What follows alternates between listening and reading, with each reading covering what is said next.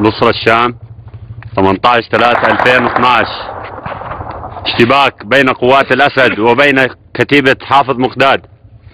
الله أكبر الله أكبر.